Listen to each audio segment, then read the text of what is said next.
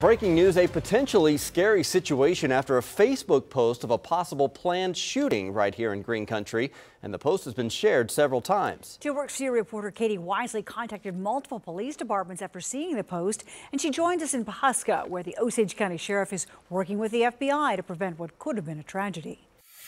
Good evening. The Osage County Sheriff's Office says every threat is investigated and taken seriously. This one, law enforcement says, from a young man with plans to attend a concert. This post on Facebook has gained a lot of attention. It says, getting ready for a concert my way. Below there is a picture of a flyer from the Osage Casino Outdoor Free Concert Series indicating that's likely where it could happen.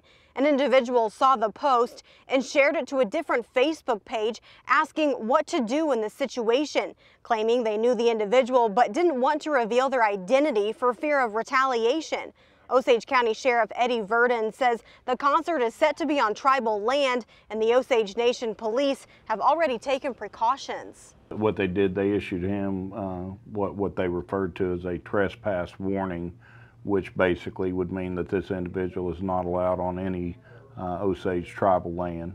So, you know, if he did try to show up at one of their events, they wouldn't give him admission.